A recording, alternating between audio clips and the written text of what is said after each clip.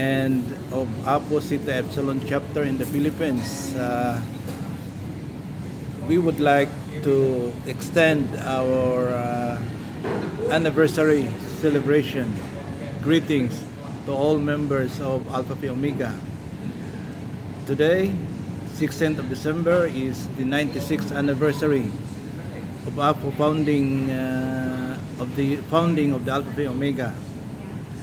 As part of this uh, celebration, Apo Sydney conducted a service earlier today in which uh, our president, Sis Grace, and Brod Frank and Sis Pinky uh, extend their assistance in preparing some gift items that will be distributed this coming uh, Saturday.